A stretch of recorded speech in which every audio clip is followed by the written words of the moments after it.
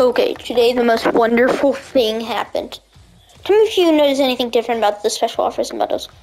So you've got the Mag uh, Masters, Fallen Light, Final Reckoning, Ultimate Reckoning, Skull Squad, Graveyard Drift, and Lars. Something missing?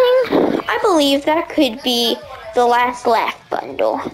Finally, this that has been in there for like a year, more than even a year, has finally gone.